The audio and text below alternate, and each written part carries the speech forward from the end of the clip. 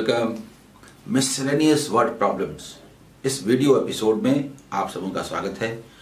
ये questions Indian bank PO जिसका exam 6 अक्टूबर 2018 को संपन्न हुआ, उसके ये मेमोरी बेस्ट क्वेश्चंस हैं। एग्ज़ाम के क्वेश्चंस खूबसूरत होते हैं। उसके डेटा एक दूसरे के लिए बने होते हैं, वो आपसे कुछ डिमांड करते हैं। आइए देखते हैं what should be the best approach my dear students मैं Amar Kumar Singh Amar sir, Unacademy पर भी हूँ, जो एक फ्री लर्निंग ऐप है। मैंने यहाँ पर ढेरों लेसन्स और कोर्सेज बनाए हैं, जो बैंक एसएससी और रेलवे एग्ज़ाम के लिए बहुत ही लाभदायक हैं। इनका लाभ उठाने के लिए आप डाउनलोड करें Unacademy learning app first question boat and stream का है। एक से ज़्यादा मेथड से बनाया जाएगा।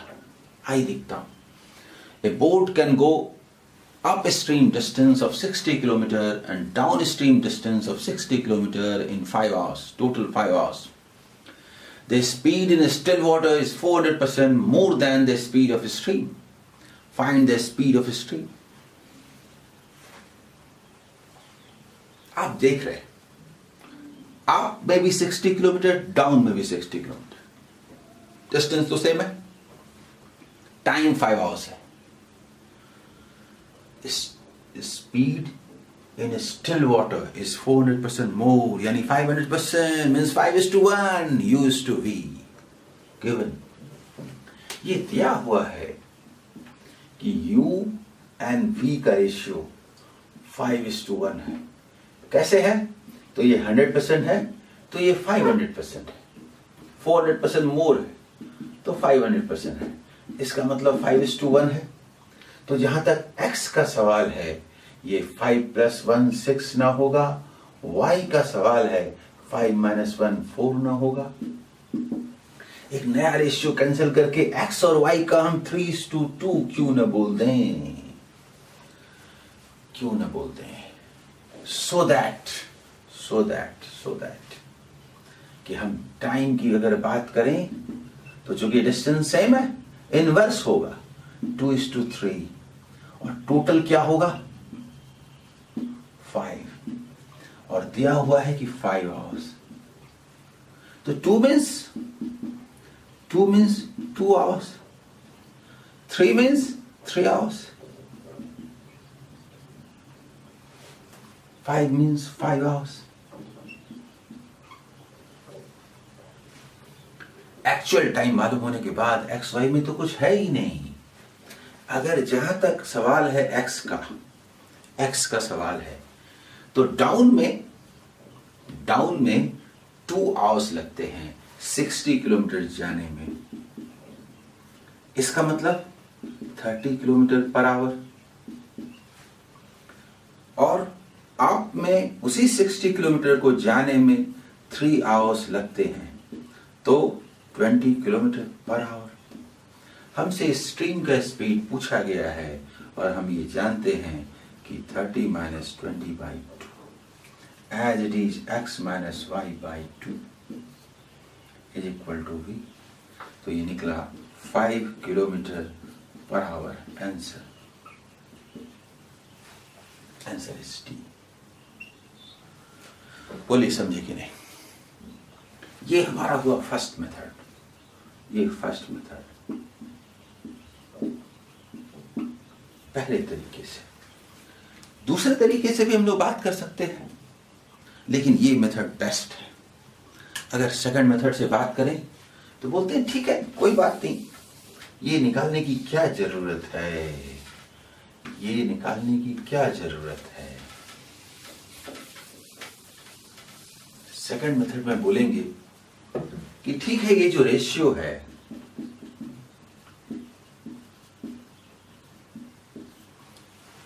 टू इज़ टू थ्री है तो टू के और थ्री के मान लेते हैं। क्या? किसको मान लेते हैं? स्पीड यहाँ नहीं, यहाँ पर। स्पीड टाइम में आने की ज़रूरत नहीं है। थ्री के एंड टू के तो सिक्सटी किलोमीटर जाने में इतना और इतना और? सिक्सटी किलोमीटर आने में इतना hour and total time is five hours इसको सॉल्व कीजिए। यानी 50 इज़ इक्वल टू फाइव के इसका मतलब k is equal to ten के टेन हुआ तो ये क्या स्पीड है ना?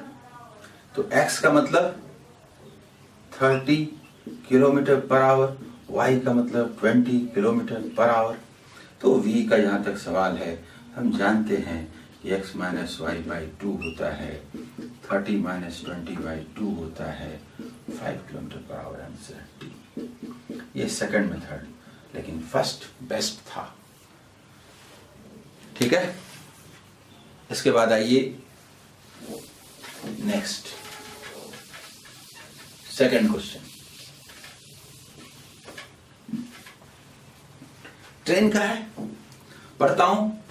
A train having speed of 72 kilometre per hour cover a platform double of its length in 45 seconds how much time it will take to cover another train having length 400 meter and at a speed of 54 km per hour running in opposite direction मुझे ये बताइए सबसे पहले दिया हुआ है कि train का जो लेंथ है उसका डबल है प्लेटफॉर्म तो ट्रेन का अगर x है तो प्लेटफॉर्म का 2x है तो डिस्टेंस जो होगा डिस्टेंस इज़ इक्वल टू जो स्पीड आपका है, जिसको आप लिखते हैं, जो कि एवरेज स्पीड यूज़ होता है। स्पीड का मतलब एवरेज स्पीड यूज़ होता है। तो डिस्टेंस का मतलब x प्लस टू एक्स होगा कि नहीं? स्पीड का जहाँ तक सवाल है, क्योंकि जब ट्रेन एक प्लेटफॉर्म को पार करती है तो दोनों के लेंथ के सम के बराबर डिस्टेंस तय करती है। 72 किलोमीटर पर आवर का मतलब इतना मीटर पर सेकंड और टाइम लगते हैं 45 सेकंड्स जल्दी हो बोलिए एक टू इसे दीजिए, दूसरा टू इसे दीजिए 90 हो जाए 10 हो जाए 900 ना हो जाए। तो 3x इज़ इक्वल टू 900 तो x equal to 300 metre x का मतलब लेंथ ऑफ़ ट्रेन वही ट्रेन जब प्लेटफॉर्म को दूसरे दूसरे दूसरे, दूसरी ट्रेन को पार करती है। तो दूसरी ट्रेन का लेंथ कितना है? 400 मीटर तो 300 plus 400 first train and second train train first और सेकंड दोनों ट्रेन उसका लेंथ ये डिस्टेंस दोनों अपोजिट डायरेक्शन में जा रही हैं तो रिलेटिव स्पीड का मतलब सम 72 प्लस 54 72 प्लस 54 लिखेंगे कि नहीं? Kilometre per our kilometre per our है? इसको बोल दीजिए five by eighteen metre per second और टाइम कितना लगता है? तो निकालना है। इज़ इक्वल टू टी यही तो टाइम निकालना है कि उसको कितना टाइम लगेगा। जरा देखिए, ऐसा ढांचा है कि हमें तो मन करता है ऐसे ही काट दें। Seven two five thirty five यानी T is equal to seven hundred metre metre thirty five metre per second यानी ट्वेंटी सेकेंड बोलिए होगा कि नहीं? Twenty second C is the answer ठीक है? क्लियर फ़र्स्ट ट्रेन का लेंथ 300 सेकंड का 400 टोटल 700 मीटर अपोजिट डायरेक्शन है ऐड होगा स्पीड मीटर पर सेकंड में चेंज किया what is time time is equal to this ये सब कैलकुलेशन का बड़ा भाग आप मन में कर सकते हैं, लेकिन हर तरह के स्टूडेंट देखते हैं कि का पहला भी होता है तो ये लिख के बताना ज़रूरी होता है। चलिए, अब हम लोग चलते हैं अगले क्वेश्चन की ओर। थर्ड नंबर क्वेश्चन देखिए। परसेंटेज का एक सिंपल क्वेश्चन है, लेकिन एग्जाम्सन थोड़ा ढंग से होना चाहिए। The salary of A is 25 percent more than B okay they both save 25 percent of their salary and the difference between their savings is rupees 2500 find the salary of B देखिए, आप इसको सॉल्व करते हैं। आप 100 मान सकते हैं 100 मान सकते हैं 25 परसेंट ज़्यादा मान सकते हैं, ये सब ठीक है, मानिए। या आप मान सकते हैं। लेकिन ए की जो सैलरी है, वो बी से बी से बी से 25 परसेंट ज़्यादा है। तो आप 100 मान करके 125 बोलते हैं। ले सकते हैं। लेकिन फिर जब 25 परसेंट निकालिएगा ना तो प्रॉब्लम हो जाएगा। बेस्ट वे ये है कि ratio five is to four है। हमने इसे 500 माना, हमने इसे 400 माना। ये सैलरी अब आपको कोई प्रॉब्लम नहीं होगा। ये सैलरी है। सेविंग कितना है? 25 परसेंट ट्वेंटी फाइव परसेंट का मतलब 100 और ये इनकम बोले इनकम बोले सैलरी बोले और ये क्या बोले? सेविंग इसका 25 परसेंट क्या होगा? Saving 125 and this difference this difference is 25 and this difference is rupees 2500 दिया हुआ है। यानी कि यानी कि यानी कि 25 को यदि हम रुपीज़ 2500 कहें तो 100 को क्या कहेंगे? 400 को क्या कहेंगे? बी की सैलरी पूछी गई है, इसको क्या बोलेंगे? ये हंड्रेड टाइम्स है, ये भी हंड्रेड टाइम्स होगा। यानी कि यानी कि रुपीज़ फोर्टी थाउज़ेंड आंसर बोलिए समझे, ये थर्ड नंबर का हुआ। ये बेस्ट अप्रोच है, ऐसे ही बनाया जाना चाहिए। ओके इसके बाद आ जाइए fourth question fourth question probability का है, ऐसे क्वेश्चन लगातार एग्ज़ाम में आ रहे हैं, इसलिए ऐसे क्वेश्चन को सॉल्व करने का तरीका ज़रूर सीख लीजिए in a bag there are fifteen red balls twelve blue balls and Y green balls one red colour ball is picked up from the bag and its probability having red is three to eight what is the difference between green balls and blue balls देखिए, एक bag है जिसमें red balls red balls 15 है, ठीक है? Blue balls blue balls 12 है। और green के बारे में पता नहीं है। दैट इज़ वाई ये माना गया है, दिया हुआ है। वाई वन रेड बॉल निकालते हैं, अगर वो रेड है, इसकी प्रोबेबिलिटी है तो इसका मतलब अगर टोटल एट बॉल्स हैं तो रेड थ्री है। यानी कि ये वाला दोनों मिला करके क्या है?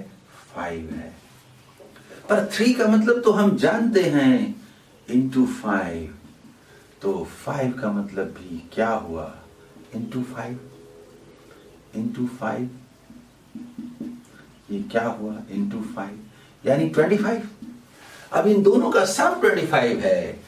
तो 12 plus Y is equal to twenty है तो वाई का मतलब क्या? 13 न है। हमसे पूछा क्या गया है? But is the difference between green colour balls and blue colour balls green and blue का डिफरेंस पूछा है। 13 माइनस ट्वेल्व वन होगा कि नहीं? ये बताइए। वन माइनस सी आंसर ठीक है? मुझे पूरी उम्मीद है कि इस सेशन को आपने एंजॉय किया होगा। पूरे पॉजिटिव एटीट्यूड के साथ लगे रहिए। दिन प्रतिदिन आगे बढ़िए। पता तक नहीं चलेगा सक्सेस का वो दिन कब आ गया। All the best